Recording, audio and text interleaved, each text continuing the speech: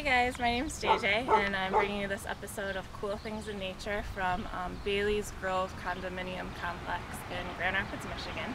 I'm here with my dad, the tree MD. He's a doctor for trees and he's going to tell us about a very um, concerning problem um, for trees in the area and all over the country. So what do we have here today? This is a situation uh, called girdling roots and one of trees' biggest problems are people.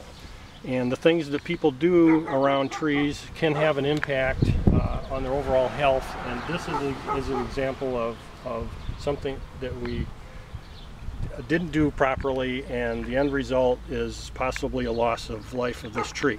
Um, roots should normally grow out and away from a tree and in this situation roots have developed uh, circling the tree and actually choking it off. Um, it's a slow strangulation.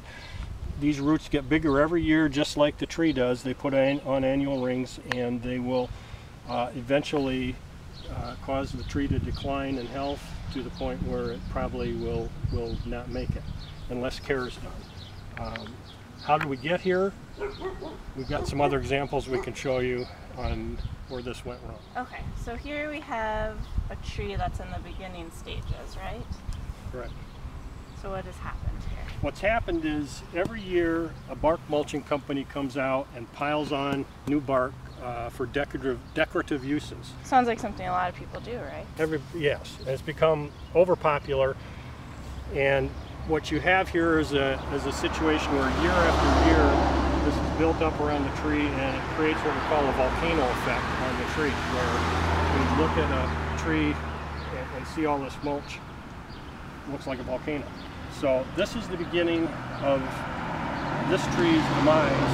Uh, it's a new tree. It actually replaced a dead tree that died of girdling roots, and they've started the whole process over again. And if uncared for, this tree is going to end up like that way too. So now we can show you one that uh, didn't make it. So I understand that this tree didn't make it. No, this one did not make it. Um, two weeks ago, it was still green. Uh, this spring, it leafed out, but for the last time. And that's, there's nothing you can do, there's no reversal. Not at this point. Uh, It's gone. so this is uh, people gone bad as far as the way they've managed the, the life and health of this tree. That's an uncool thing in nature. It's very uncool. So this tree, what is this that we have here? This is the formation of, of new roots. These are baby roots that have occurred just in the last year or two from the bark mulch. Um, it's highly organic, uh, it's good soil.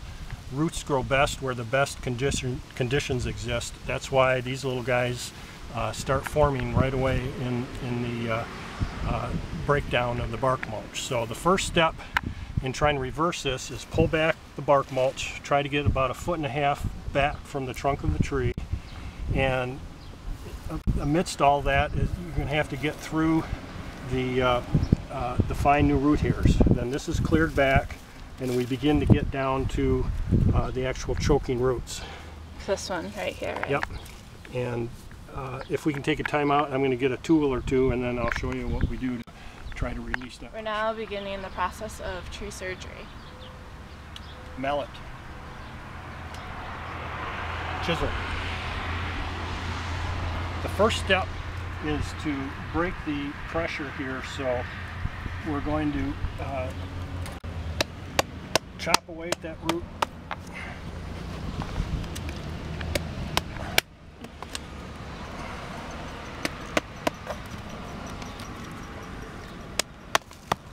There, there's a beginning.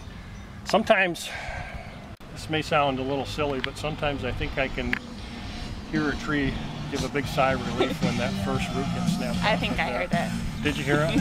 it's a good sound. So this is the beginning of bringing this tree back to a healthy condition, and we'll continue to uh, remove as many of these tight roots as we can, and uh, watch the tree in the future. Uh, give it a little fertilization, make sure they don't uh, apply bark mulch like they did before. What can we tell people at home watching who, or for how to be cool with their trees? Don't, What to do and what not to do? It's a good question. Um, don't start the process. So by not starting the process, let's keep the bark mulch back a foot and away, a foot and a half away from the base of the tree. You can still smooth it out. Uh, if you need to, you can lay a little bit in. But if you come back next year, uh, maybe pull back what you laid in the first time and put some of the nice new mulch there. Uh, just a little, little thin coating, but don't pile it on, and don't, don't uh, uh, be the demise of the tree that you love in your yard. Okay. Thank you. This has been very informative to everybody watching. Be cool with your trees.